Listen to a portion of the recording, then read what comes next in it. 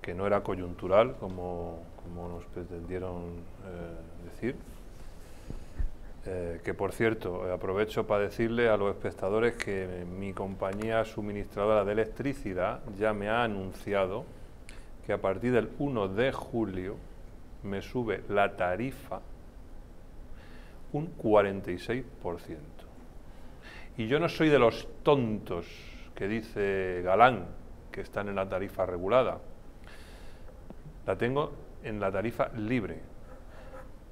No soy de esos tontos, porque si los accionistas de mm, Iberdrola tuvieran dignidad, echarían a patadas a ese mequetrefe por llamar tontos ¿eh? a los consumidores. De un oligopolio como que él tiene o como él dirige.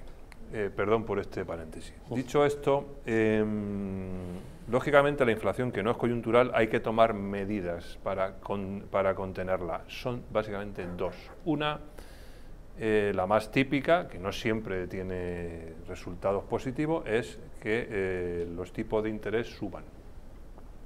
Hacer que el dinero tenga un valor mayor del que tiene.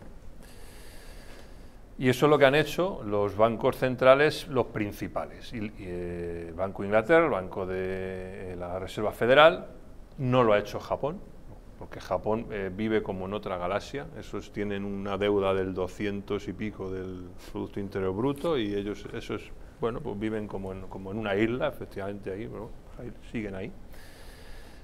Y el Banco Central Europeo hará lo mismo.